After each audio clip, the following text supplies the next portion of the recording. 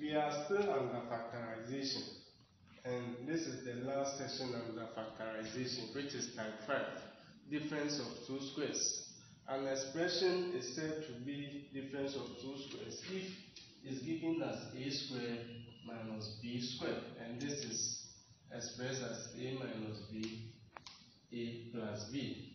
Difference of two squares can't be a squared plus b squared. This is not possible and under difference of two squares, it is either used to factorize expressions, simplify expressions, and also simplify calculations. And also, you will be given a perfect square at times.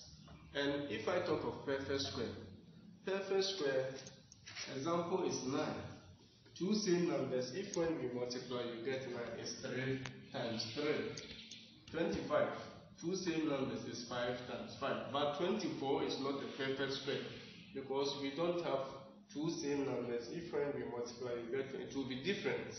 Once is different, it's not a perfect square. So this is not a perfect square. The one I have circled it. So I've explained perfect square. x square minus y square. It becomes x minus y, x plus y. Also the difference of two squares. Let me give an example. 4m squared minus 16. Given a question like this, so this is difference of two squares. This means 2 times 2 is 4 and 4 times 4 is 16. So this becomes 2 squared m squared minus 4 squared y squared. So it's the same as 2m going to bracket squared minus 4y so squared. So it's 2m minus 4y.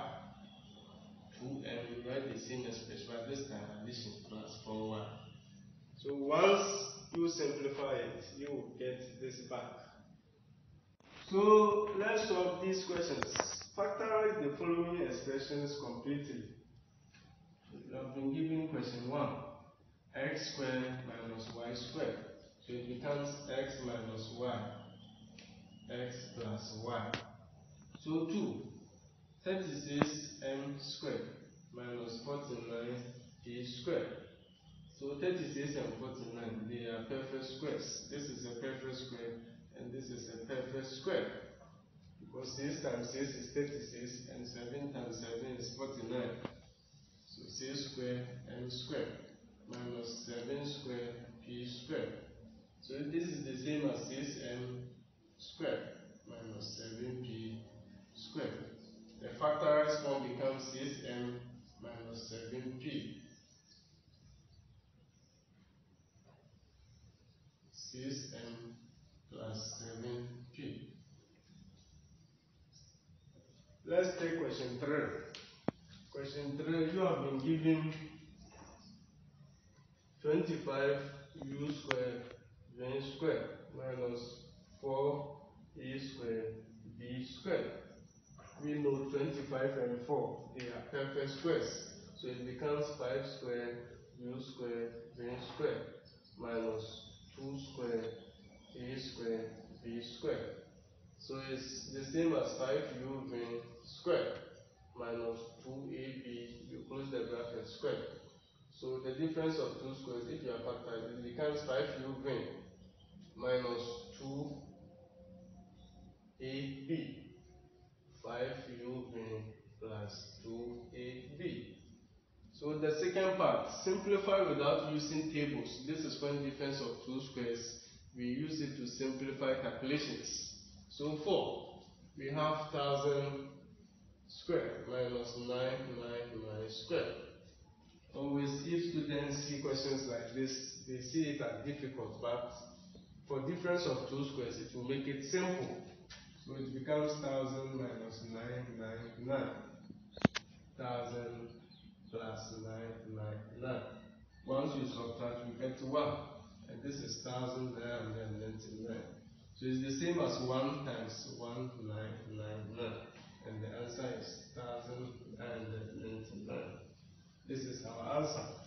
Question 5. Let's solve the last question.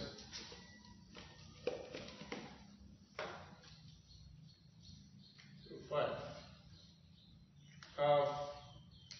2.64 squared minus 2.36 squared. So under difference of two squares, you just follow the principle. So it's 7.64 minus 2.36. 7.64 plus 2.36. So once you subtract this, you get 5.28.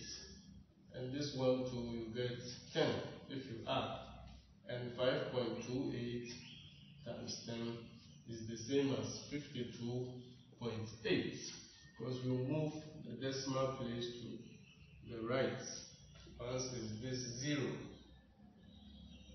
because the 10 makes it one decimal place. So you just count one decimal place to the right. So we have 52.8. So I'm done with factorization and algebraic expression. And this brings us to the end of today's lesson. That's difference of two squares. Thank you.